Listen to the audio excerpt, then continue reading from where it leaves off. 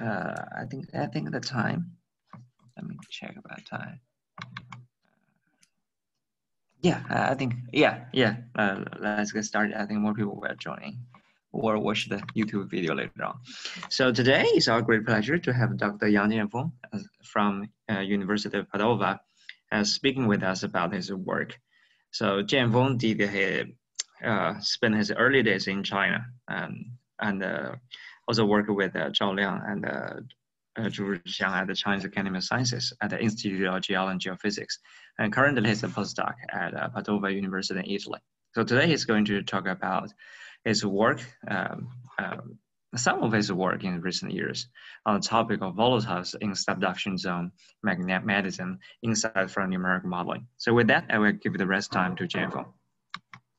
Okay, thank you. Thank you for the invitation. Uh, today, my talk, uh, before I, I plan to uh, to talk about two works, but uh, because one of these work has not been published yet, so today I will only maybe talk about the or published um, paper. So first, I'll give a simple introduction uh, from this uh, sketch, we know that uh, along this subduction, the water can be transported from the surface to the, to the mantle due to the breakdown of hydrous uh, minerals, for example, amphibole, lawsonite, chlorite. And this water will go back to the mantle and, and cause partial melting. These partial melting, partial molten rocks will be, uh, be extracted to the surface and so, such that the water will, will finish a, a cycle in the subduction dome. Uh, from a big sketch, uh, the cold slab can go from the surface to the transition zone or even the low mantle. And all, some, some part of the water could, could be uh, trans, also transported to the transition zone and the low mantle. And with the mantle convection, the upwards flow could also transport the material, probably include the water to the surface. So this is another big cycle of this uh, water. Uh, then how much water in the mantle? We know that in the upper, upper mantle, the most abundant minerals are olivine. Olivine has very low uh, water solubility. It's around 100 ppm in the shallow depths but it will increase around the depth to uh, probably 2000 ppm in the uh, upper mantle, uh, in the upper mantle. And uh, if we go to the transition zone, it's mostly uh, composed by the wadsleyite and the lignite. These two minerals has a uh, large capacity of water, which is around one to three percent and if you go to the low mantle, which is around uh, composed by the ferropericlase and the bridgmanite, uh, bridgmanite is the dominant phase, which is around 80%, but it has also low uh, water solubility. It varies from maybe um, few tens of ppm to uh, less than 1000 ppm. But actually, uh, we don't know how much water exactly in the mantle, but there's some samples from the deep mantle that we know the mantle probably are water rich, at least locally. For example, the uh, hydrous lignite from Fraser, they, it contains about 1% or 1.4% of water. And also uh, this phasic mostly in the sediments or kitchen crust uh, due to the development of this uh, high, high pressure, high uh, temperature experiments, many dense hydrous magnesium silicates are assembled in the lab. Those, uh, those uh, DHMS phases, they are, they are uh, for example, phase, phase D, uh, superhydrous phase B, phase H, and also many aluminous phases. They have large uh, water capacity and which could be uh, stable at various pressure temperature, but most of them could only stable in inside the slab. uh, recently, there's another paper that they found this aluminum-rich phase D could be stable to 26 gigapascal. This aluminum-rich phase D is mostly rich in the oceanic crust because uh, the basalt could mostly uh, completely dehydrated at, at around 300 kilometers. If this aluminum-rich phase D could, uh, con could contain the water in the low mantle again, that means that uh, when it's transports to the low mantle, the, when the slab dehydrates, it will go to the uh, crust again. Then this crust is likely to contain the water to, to much deeper depths. Uh, then we have a, a, simple summary that uh, these, uh, these hydrous phases are the most, most important minerals to contain the water to the, to the uh, deep mantle. I mean, deep mantle, mostly the low mantle depths. Uh, because uh, uh, there's another part, as I mentioned, another part uh, work that we haven't published. So I will not introdu uh, introduce it here, maybe next time. And this work is mostly um, working on this how water can be transported to the low mantle depths. And today I will only talk about this, uh, the intraplate and petit-spot volcanism. And uh, the, the study region is in the east, uh, east China. And from the tomography data, we, we know that the Pacific plate is currently stagnant in the transition zone. And this is the classic paper by Huang and Zhao. And we we have several uh, important observations here. The first one is the Cenozoic volcanism, especially this uh, Changbaishan volcanism. Changbaishan volcanism is active. Was uh, there was there was some uh, recorded eruption in 1960 uh, or or quite recently, but this volcanism is really far away from the trench which is around one, more than 1,000 kilometers, which means it is uh, an intraplate volcanism. Most studies think that the intraplate volcanism is probably related to the Pacific plate subduction. And the first, uh, the first mechanism uh, proposed by Tang from the seismic tomography data they found from both P and S wave tomography, they saw uh, the low velocity zones. Uh, it tends from the from 700 kilometers to around 100 kilometers. So they proposed the, the slab is probably uh, broken, it has been teared. So there's, there's a return flow uh, feeding this uh, Changbai volcano. Uh, however, uh, from the local, local and teleseismic tomography and also joint inversion by uh, Dapeng Zhao's group, they found that the slab is uh, quite continuous in the transition zone. And then, and then they proposed a big mantle wedge uh, model, which means the slab transport to the transition zone depths and it dehydrates in the transition zone and this water will go to the upper mantle and cause partial melting to feed in this intraplate volcanism.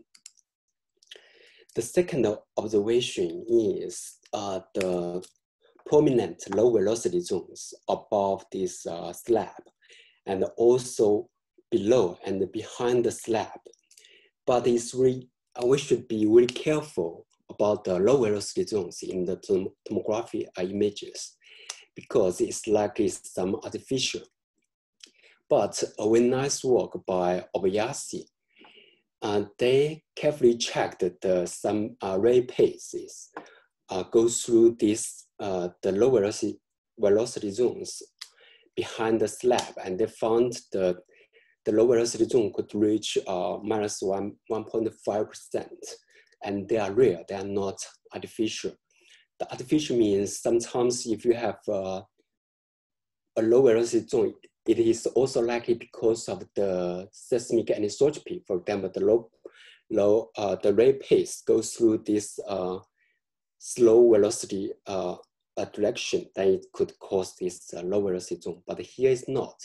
They are real uh, low seismic velocity. And the third observation is this uh, spot volcano. The petit-spot volcano was first found by Hirano in 2006. And it is uh, around this uh, trench and also about 600 kilometers away from the trench. Um, and they also uh, simulate from the geochemistry, they simulate that the, these petit-spots are quite water, water rich. They have been rich in uh, uh, the carbon and the H2O. And the first observation is the highest high uh, electrical conductivities in the East China. In the transition zone depths, they found the, the high electrical conductivity could uh, result in about 0.5 to 1 weight percent of water. And, and if we put all these observations together, we know there are some isolated mechanisms to explain one of these uh, observations, but there's there'll be there, there's no integrated explanation. From the electrical conductivity, we know that the transition transition zone depth is probably uh, water rich. So if these uh, water rich zones uh, in, interact with the with the Pacific plate, this water could, uh, could be squeezed out, out of the transition zone. And due to the high water capacity, capacity difference, it will cause partial melting. This partial melting could likely to explain these low velocity zones. So we made a simple setup. We, we use uh, uh, this slab, slab tip and a wet transition zone at, at the initial step. Here, the bunch condition is periodic on the size and free slip because we use also use this uh, sticky air approach. So it, it could mimic this free surface bunch condition. Uh, we don't impose any other uh, forces here. So the uh, this model is fully dynamic. First, I show you a, a movie of the subduction process. First, uh, when the uh, slab subducts, it was uh, it will uh, squeeze the water out of the transition zone to, to the upper mantle and cause partial melting. And later, this uh, uh, slab will also squeeze the water to the low mantle and also behind the slab. This, uh, this partial melting could reach could result in the melt extraction process. So here the yellow is the, is the extracted melt. And at the later stage, uh, when, the, when the slab retreat, there'll be much more water squeezed out behind the slab and it caused partial extraction behind the slab. So uh, if, if we look at this, uh, this final stage, here I show the composition, word content, and, and our synthetic veloc uh, velocity anomaly. We can see three uh, molten zones. First is behind the slab and below the slab, and above the, above the slab, above the 410 uh, in front of the slab. Now, these uh, three molten zones can, can result in the low velocity zones which could be comparable with the uh, seismic images. And behind the slab, we can see the extracted melt, which could cause it, uh, result in this uh, and also in front of the, of the slab, which is more than 1,000 kilometers away from the trench. This, uh, this uh, uh, volcanics could correspond to the uh, intraplate volcanism in front of the slab and also behind the slab.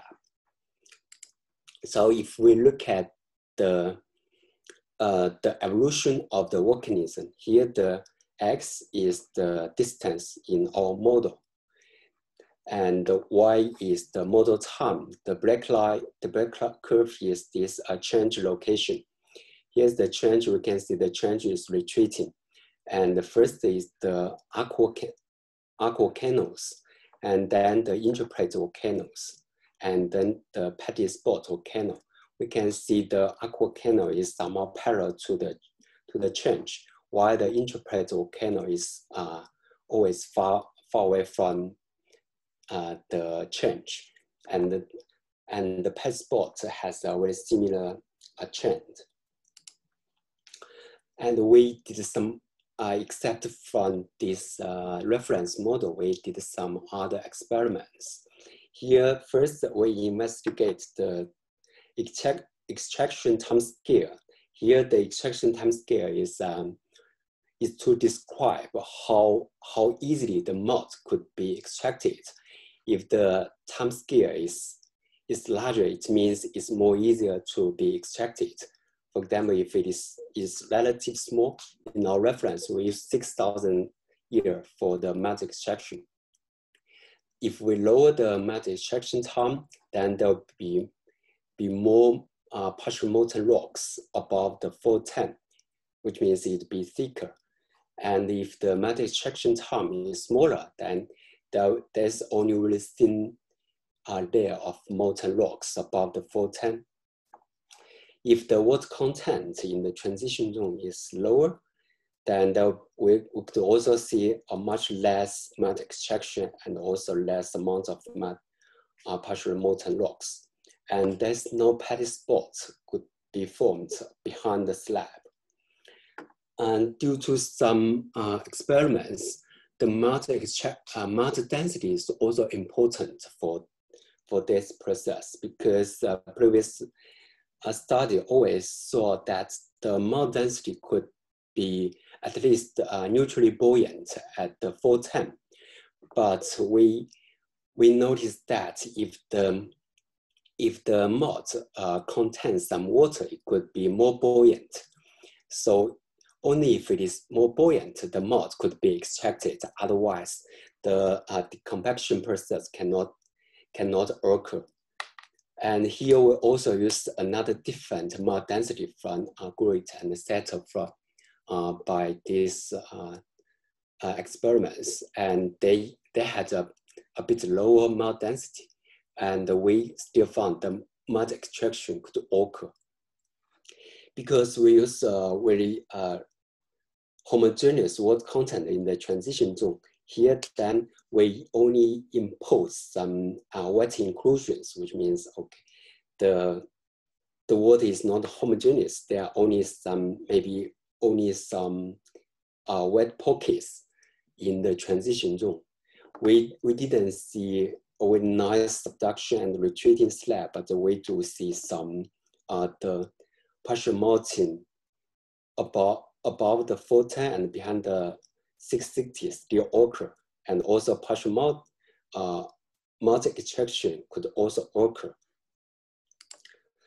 And uh, except uh, except from this uh, East, Asia, uh, East Asia, there, there's some other uh, low velocity zones above 410 in Tengchong volcano, for example, also uh, below 660 in the Western America are also observed in, in seismic images. Also in Europe, in, uh, in Europe, the low velocity zone above 410 and around uh, 800 kilometers uh, below this uh, transition zone, they're also uh, reflected in the receiver functions. And also globally, the, the, uh, the low, velocity, low velocity zones above 410 seems a global feature. They could vary from 20 to 100 kilometers thick. So here, uh, this is my talk. I hope I can convince you that this hydrous mantle transition zone can comprehensively explain these uh, four important observations in East Asia. Okay, thank you. Yeah, and uh, by the way, uh, this paper was published in this early year, and I also write a, a Chinese uh, explanation in uh, in our institute. Yeah. Okay. Okay, thank you very much. For your presentation. Now it's time for questions. I think we do have a little questions for you. Yeah, go ahead uh, for the participants. Maybe Mimi could, or, or some other, oh yeah, any participants feel free to open your mic or type your question in the chatting place.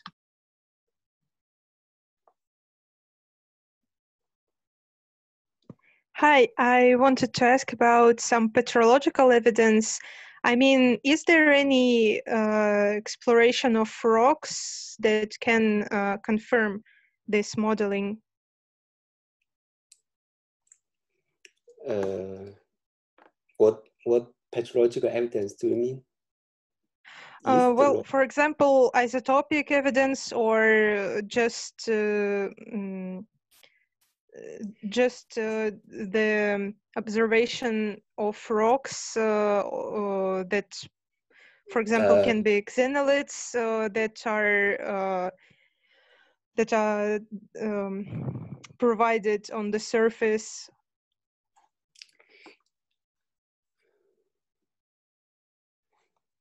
Uh, yeah, actually, there, there's a Nature Geoscience paper maybe in around 2015 from Japanese group, they found this uh, basalt, which is uh, rich in water uh, in Changbai, in volcano. This is the first evidence.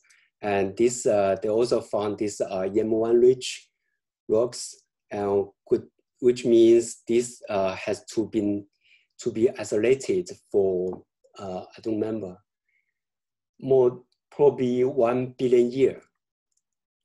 So they are they should be um, volatile reached. So this is the from the petrological evidence. Thank you very much. So could you, uh, yeah, uh, for for our participants, could you also uh, introduce yourself of your name and your institution? So Natasha, could you introduce yourself? Uh, my name is Natasha Silutina. I'm from Lomonosov Moscow State University. Okay. Okay, great. Okay, next question.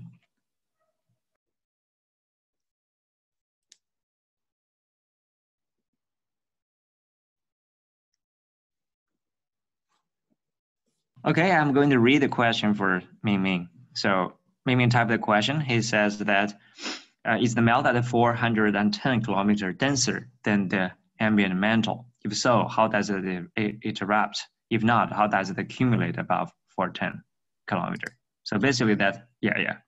Uh, so Ming Ming is assistant professor from Arizona State University. Yeah, yeah. I know, I know Ming Ming. Uh, thank you.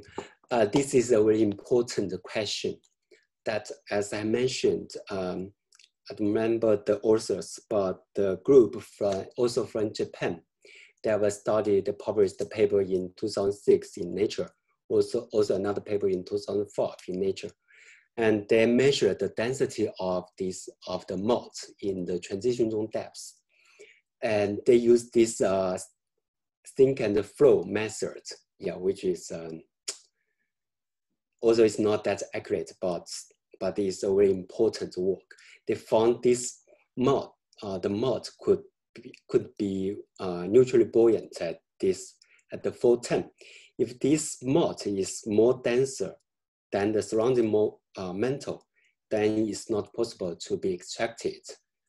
I mean, there's no possible for the melt to, to migrate.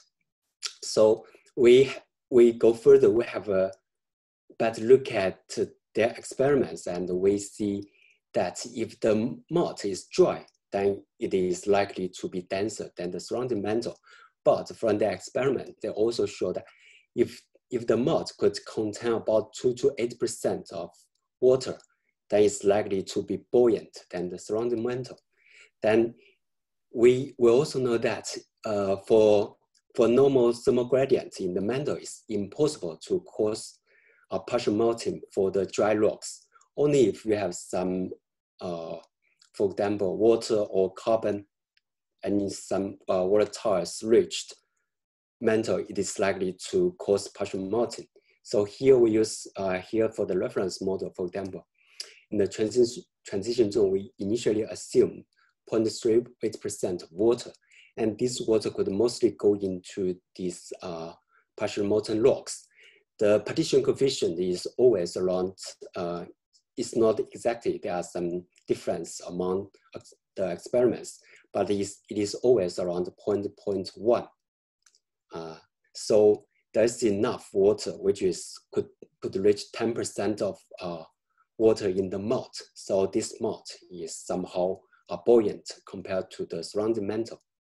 And we also uh, test, I mean, here, here this experiment is from, from the, uh, the physical experiments, but here there's some uh, simulations of the melt density by uh, uh, and Seto. And also show that the melt is, could be more buoyant than the surrounding mantle. And uh, another work by, also there's another work by Jin and Cletto, uh, probably in 2009. They also showed when, when water exists in the melt, then it be more buoyant than the surrounding mantle. Yeah, that's, uh, I mean, that's all, all the evidence to prove that the melt would be more buoyant if it, if it contains water. Yeah. Uh, but, but, but also in this question, Mimi asked that how does it accumulate at 410? If it is buoyant, then how could it accumulate? How could the melt accumulate at 410? Um, uh, first, you, you have to know that the, the water content is relatively low and the melt fraction is also very low at these depths. Here, the, the melt fraction is only around 1 to 2%. But, but for this low amount of melt fraction, it is still uh, possible to percolate because uh, maybe the, I think there are only two experiments at the moment, as far as I know. One is from uh, Yoshino in 2007 in the EPSL paper, and another one is 2017 by French group uh, in 2017 in Nature Communications. They show that the, uh, the dihedral angle is quite low at these, uh, these depths. So if the dihedral angle is low, that means the melt could be well connected. So even though you have very low melt fraction, it is still possible to percolate for the melt.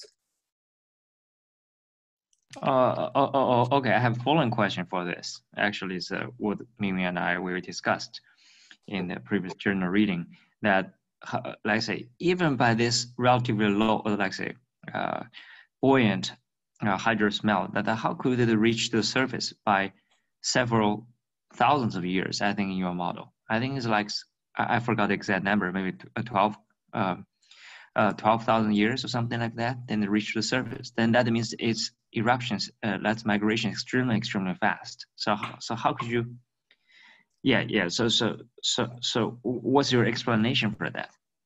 Okay.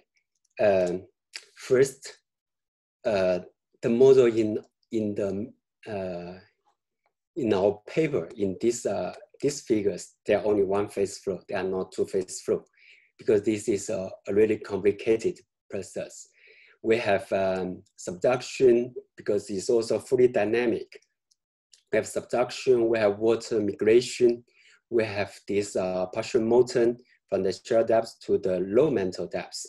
And we have this melt extraction. So here the model is, is complicated enough. And we are, at, at this stage, we are, are not possible. And I think there's nobody it's possible to uh, simulate the two-phase flow at this scale. So we, we did another experiment, which is two, uh, realistic two-phase flow. We use uh, we low density here at, at the transition zone depth at 410 actually. And we simulate how this, how it, how this mat could percolate to the surface. So this, this is how we explain uh, the melt could go through the asthenosphere and to uh, go through to the lithosphere and to the surface.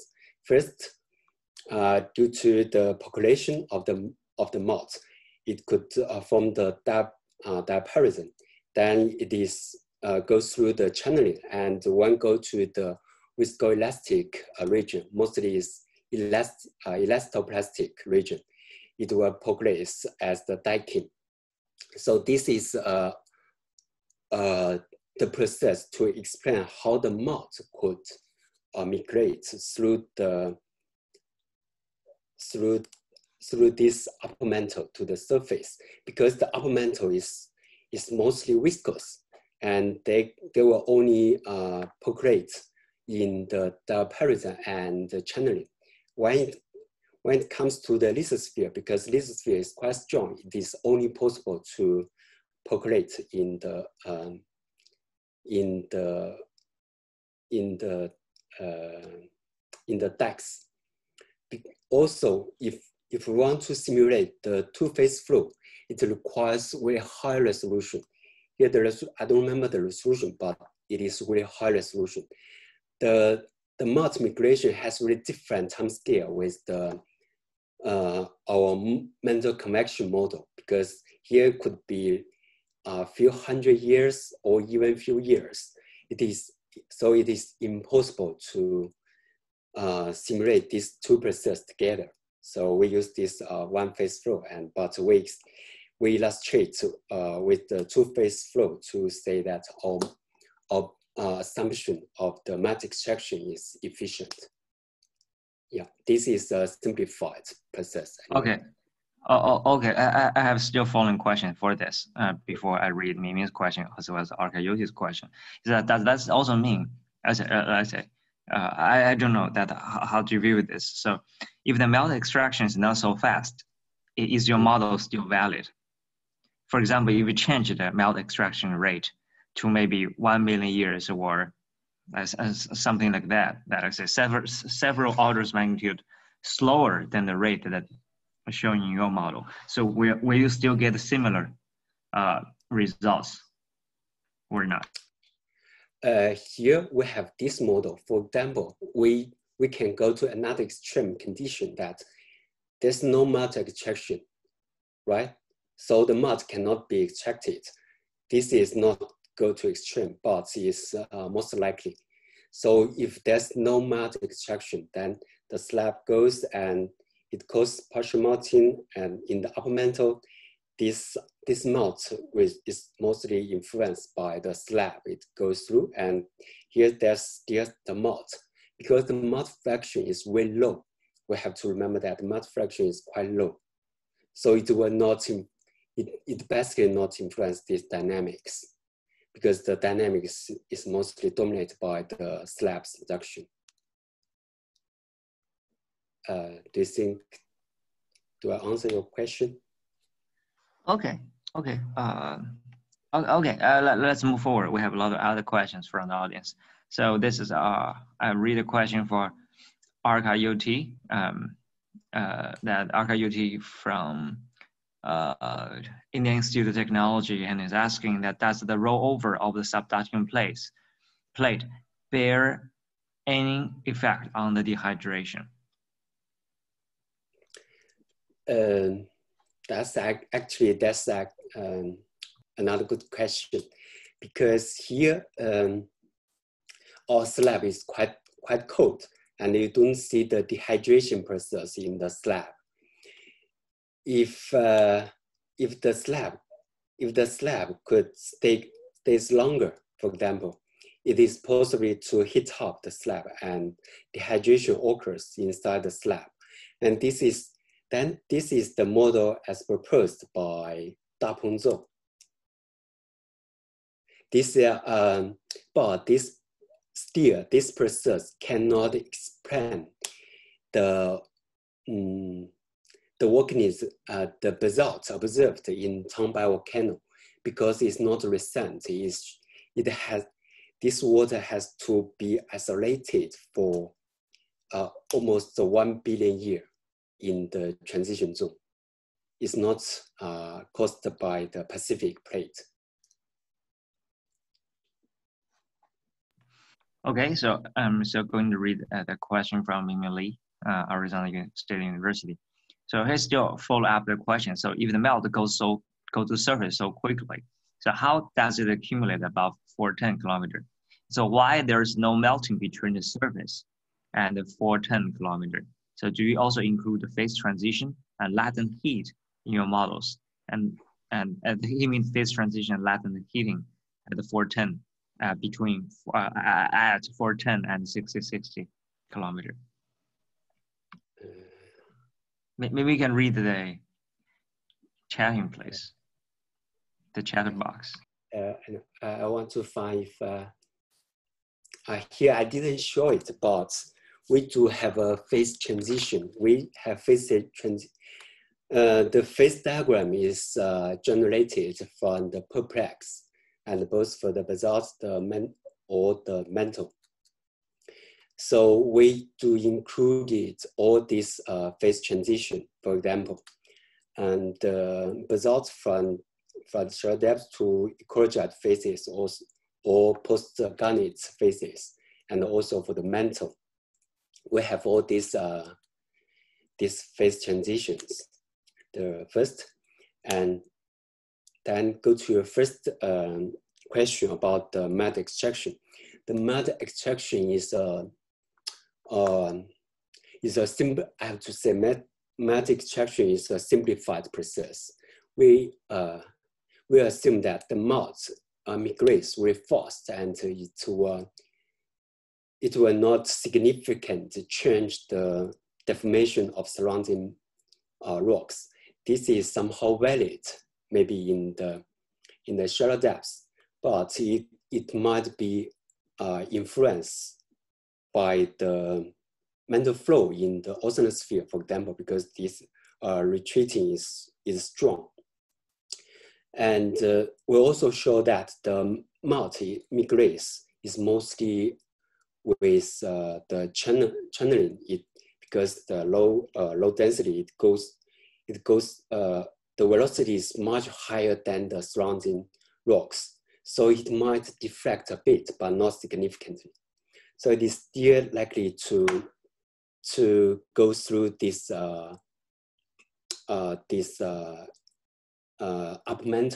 But the problem is that if the melt can go through the lithosphere is a big problem. That's because uh, the lithosphere is strong. So it's, it's not easy to go through. So some of melt is likely to be trapped inside the lithosphere or, or maybe in the, uh, in the up, uh, lower crust, I mean, around the Moho because the divergence is high. The Moho has a high temperature and low viscosity and then you go to the lithosphere and lithosphere is very strong, so it gets really, really large divergence around this zone. So melt could be accumulated there. And then this melt is also likely this could be form a magma chamber, then migrate at a later stage. But we don't simulate this process. We just we just assume that the, it will uh, it it will have this uh, melt extraction process. It's a simplified process anyway. And uh, why why doesn't it melt in the in the surface? Is that is that the question? No, he says that why there is no melting occurs between surface and 410. That is in upper mantle in your model that you didn't consider any other melting that potentially could be going on. No, uh, here that's because the, uh, this blue, they are hydrated mantle. They have, they contains water, but here they are dry. So there's no, uh, no water here. Then it, uh, it doesn't reach the melting condition. So there's, there's no melting. Uh, actually, for this, I was also uh, a little bit confused. Maybe I didn't read as carefully as uh, uh, because in I think in some of the other plot it shows that this, uh, like say figure A here, uh, in this blue zones that it contains certain amount of water. I think it's already like water saturated in the upper, upper mantle. Uh, is that true? Or, no, or, it is still it is still undersaturated in hydrogen in the upper mantle olivine? No, for for this blue for, for yeah for these blue zones. Yeah, uh, we see this is uh, here we set uh, 0.3 weight percent, and this the transition zone is possible to hold this amount of water. When it goes out of the transition zone, uh, because the uh, relative lower uh, solubility caused the partial melting. And of course, it has to reach the uh. After melt extraction, you will see that the melt goes, goes with the uh, melt. So the remaining rocks, the residual has less water. So you will see this here will be less than uh, 1,000 1, ppm. This uh, for this 1,000 ppm is, as I said, uh, the olivine has large uh, water capacity along the depths. So it will increase. If you go to the shallow depths, it is possible to melt, but not at this depth. So it, it is still undersaturated. Yeah, this uh, this work you can you could see from a group from uh, from a German German group from uh. Yeah. Uh, actually, I, when I was thinking about that, I was thinking about that in your model that you try to explain uh, the low velocity zone one, two, three. So which one that was lacking in your model that did not match with the uh, uh, West Pacific was the one of, of the low velocity zone immediately above the uh, subducted slab. Although in your paper, I think you sort of wave your arms for that. Uh, so that actually, I was thinking that in this one, uh, maybe that could like I say, with contain certain amount of water that could help with the melting to occur so that it could reach some low velocity zone that could help to explain your model. Uh, uh, but, but anyway, I will jump to another question that are relevant to uh, the previous discussion we had. So for example, in your figures one to A, B, C, as at the bottom part of it is all 800, uh, 800 kilometers. And so there might be artifact in the lower bound um, because this is a closed box model. And so, so, so have you considered that expanding it all the way to maybe to like 2000 kilometers, or something like that at the lower box so that, um, uh, do, do, you think that by expanding that will change your, uh, this low velocity zone below your transition zone slab, uh, this red part in figure A, for example? Uh, do you think that will still hold? If you enlarge your box from eight, bottom of your box from 800 kilometers all the way to maybe 2000, uh, or even all the way to Earth's core-mantle boundary, do you think that low velocity zone will still hold? Uh, okay, first I answer uh, your question about this. Uh, if the if the water is able to expand these low velocity zones, no, it's uh, it's not. First, if you see the paper by uh, Mao, I don't remember where, which university is she is. Anyway, she went back to China and she has several papers and also from her group that uh, this amount of, uh, for example, 0.1 weight percent is, is not able to cause any seismic anomalies. And it's only at least, uh, in my mind, I have to check the paper, but it is around one, at least one weight percent of water could result in uh, observable uh, seismic anomalies. So this amount of water is not able to expand the low velocity zone. And then for this uh, low velocity below 660, uh, I have I had uh, some models with 1,000 or even 1,500 kilometers, and we we still see the, that the the slab can um, can squeeze the water to the uh, low mantle. If the model is larger, if the model goes larger, it is possible that the the model zone could go go to a bit deeper. It quite depends depends on the low mantle viscosity, of course. Yeah, but still, it's still valid because uh, the slab goes slab is going to uh, stagnate above the 660, then the melt has to go, go deeper. Yeah, and also because the slab here is the return flow like this, uh, return flow like this, and below the slab is return flow like this. So here is more easier to go, go deeper because there's a down, uh, down valley, a return flow uh, in this direction. Uh, actually, I'd like to argue with you for this, for the above 410, for this hydrous um, in your model that's subsolidus. Yeah, I agree with you from Mao's work from USTC China. Um, her, let's say it is true that in subsolidus conditions that a small amount of water, or let's say even even by thousand ppm water doesn't affect too much about seismic velocity. I agree with that. Uh, uh, however, this amount of, of, water, even in subsolidus condition, can greatly enhance electrical conductivity. So if it is self-consistent with the, the story that you are trying to make, then I would expect that there are very high uh, electrical conductivity um, above the 410 in, in this blue zone that they're showing here uh, with no seismic uh, uh, uh anomaly. So they should be, like I say, the, the, uh, there should be a correlation between these two. And if they had generated a large amount of as the red zones you are showing here in figure one, then that has both low velocity and high electrical conductivity. Uh, so that is in the subsolidus condition.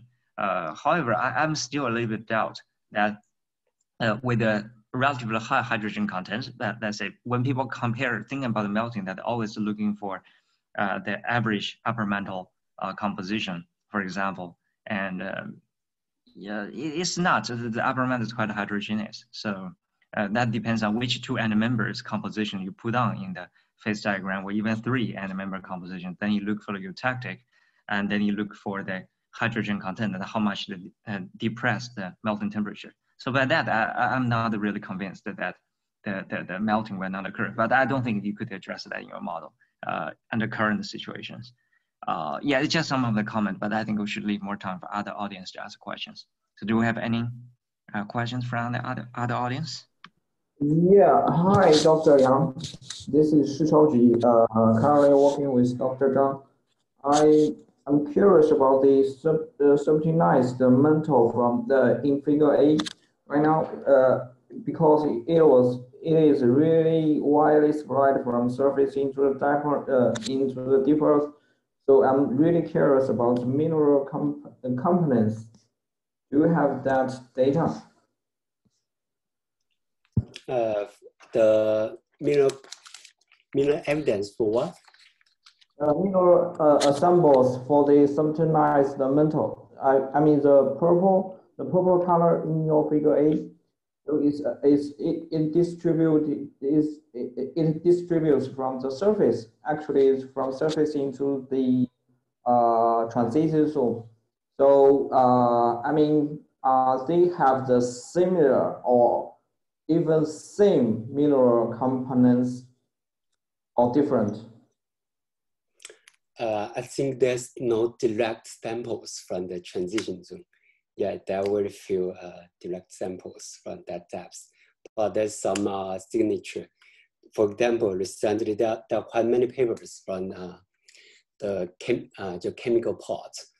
For example, uh, this some early time, I think the paper in EPSL, Huang, Huang, uh, I don't remember, but uh, also they also proposed uh, some uh, chemical evidence that the the the signature should be from the transition zone. Here we uh, we use the evidence is mostly by, as I said, by the Japanese group published in 2015 in Nature Geoscience, and also the some other papers in uh, there's another paper in uh, in ESR.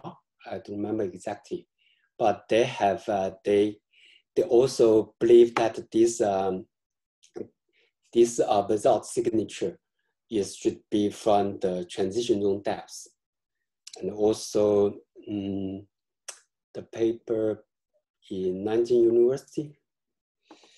Uh,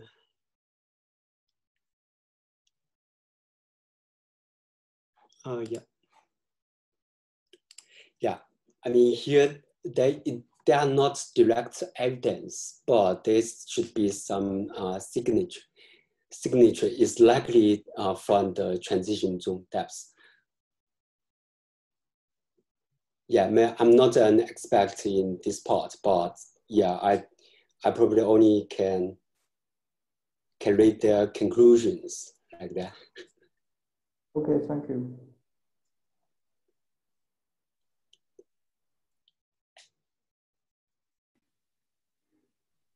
Hi, hello, Jianfeng.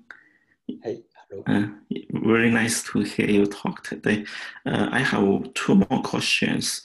One question is in your model, it, it looks there's no melting in low velocity zone number three, right? And there's no melting right? If you compare figure A on the left and figure B on the right, there's no melting uh, like seismic tomography beneath town by Changbaishan as in your models. Is that I understand correctly? Or an another question is, is sticky air important in your model? Like, can your model produce similar results without sticky air? Sticky air is very difficult to simulate. Can you make your model yeah. simpler? Uh, okay. okay, first I answer uh, that's, uh, that's true that you observe that the, the partial molten rock, uh, rocks or partial molten regions is not uh, uh, just above the slab. Uh, but we do see this, uh, this model if we set uh, 0.28%, then it's likely that the partial molten just above the slab. And to explain this Changbai, this, this could uh, well compare, comparable to the Changbai volcano. Yeah, what, what do you think about uh, this explanation? But in this model, you, you don't have the other melting further away from the slab though, right? uh, I, I don't get what. Yeah. Uh, melting in, well, you mean here, this region? Yes, I, I mean. Yeah, yeah. As I said, here, here we have we got the we got the partial mountain, uh, in front of the slab, but not exactly above the slab.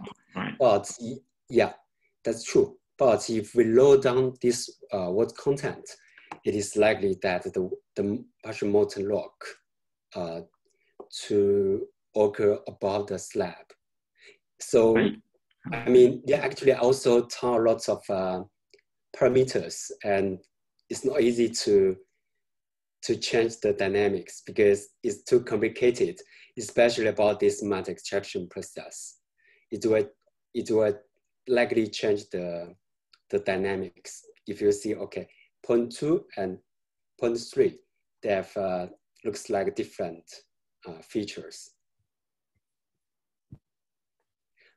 But, but we still argue that it is like here the model because the transition zone has real homogeneous uh, uh, distributed uh, water. So actually they should be somehow maybe only like this, some uh, wet pockets. And also if you have this homogeneous distributed water, there will be too much matter extraction and too much volcanics. So if not, then it's, now we only have this uh, Changbai volcano. It's not that, that much. So it's likely it, uh, the water in the transition zone is likely to be uh, heterogeneous distributed.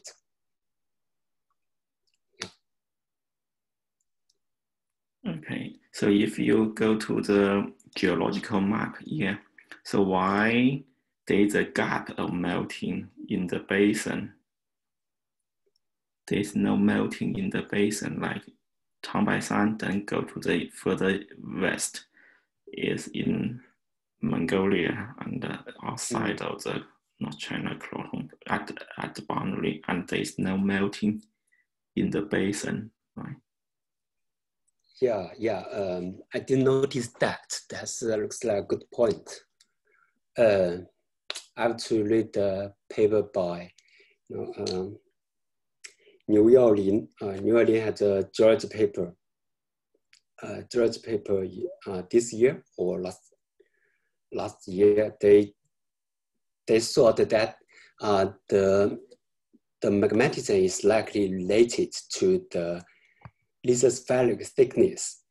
Then I also asked some uh, geochemists and they, they don't agree it at all. so uh, this is this would be uh, really this would be a different uh, topic. I could not say that all this volcanism is related to the uh, transition zone process. Mm. Yeah, this could be likely some other process. I it's difficult to say. Okay, I see. I, I previously thought your model can explain this gap because it's uh, this volcano and that volcano and there is a gap. Like in your last figure, they show the gap, but this gap is not that gap, right? No. Like in no. your last figure in your paper, there is a gap. No, no, that, that, that that's different. That's uh, yeah, this uh, yeah, we we explain that that's why this uh volcanic gap because some there's no water transported to the mantle depths because the buoyant the serpentina is man, uh, uh, mantle. So there's no water can be transported to the mantle. So there's no partial melting, then there's no volcanics. Yeah, there's still be a different different one. Okay. Thanks. Yeah, yeah. Yeah, yeah, yeah. And Ming's question also contains that about the sticky air. So in the beginning of the model that they put some let's say, very um, uh, low viscous uh, components that are near the subduction zone at the, your initial conditions, which Miming calls that is a sticky air. I'm not a geodynamist, I don't know how to call it, but I could understand that well. Okay. Yeah, yeah. Uh, so, so could you explain more about that technical details? Okay, okay. Um,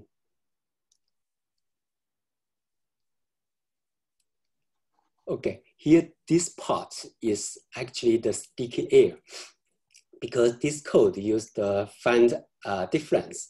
Finite difference is not like finite element. Finite element, the grid can be deformed, but finite difference, you have, uh, here we don't have this adaptive uh, mesh or anything. The mesh is, is constrained in the, at the beginning. So it's always a rectangle.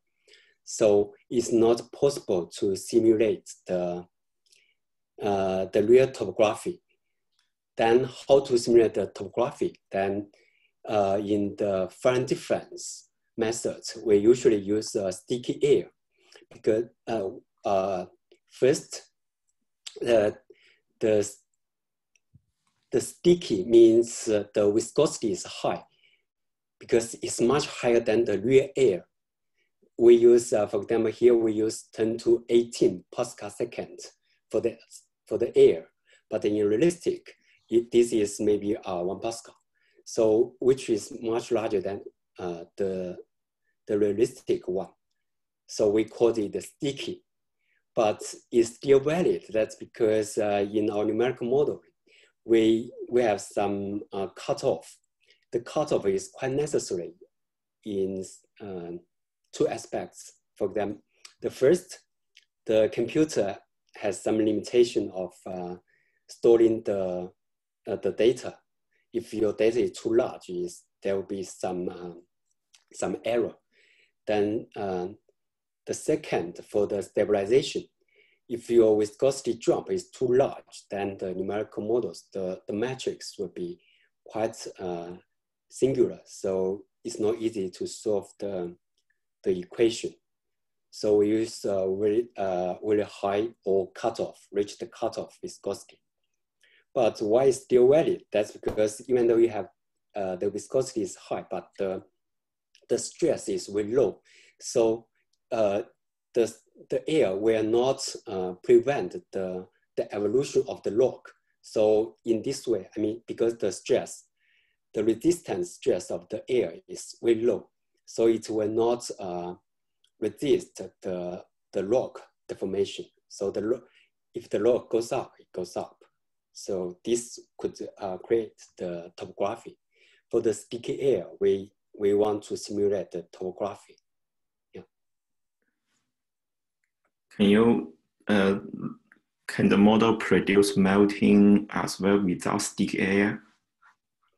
Um, yeah, yeah, sure. The sticky is only for the to simulate the topography. If you use simply use this uh, uh, uh, the model sticky air, it is possible. But there's one problem is that the subduction is, is not easy because the sticky, if you have a free surface, this is actually simulate the mimic the free surface. If you have the sticky then the slab is easy to uh, to rebound. is more easier to subduct. Uh, if you don't have the sticky air, then uh, I probably need a larger slab dip, but it will not influence the. Um, I mean, not not much. I think I didn't try but I think it will not influence much of the dynamics. Okay, I think so. Okay, uh, I have following question for the subducted slab actually. So if you change your subducting angle, what would you expect the consequences will be? Um, here actually, yeah, I don't change the the angle uh, because uh, this is the initial setup. Um, mm, we only assign a slab dip and the later is fully dynamic. But for example, if I use a very large angle at the beginning, then then I think the system will not uh, will not stable because the angle is too large. Then it's it simply thinks.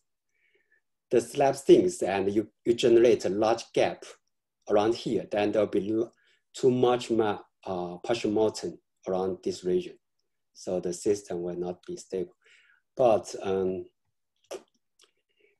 uh, I, do, I don't know. This, um, this, this, because this is free dynamic, it's difficult to say. yeah. And actually, yeah, of course, if you say where it influenced the, uh, the water budget, then we have another work. Um, yeah, not, this will be another work. But it will, um, it has very small influence, actually, for example. Yeah, here we investigate different uh, thermal parameter for the water budget. So we found that the slab dip, this is a kinematic, kinematic model, not, not like the dynamic model before. The kinematic, uh, kinematic model show that the subducting angle will not influence much about the world budget at least. But yeah, it's, it's not easy to say where it influenced the, the dynamics or not.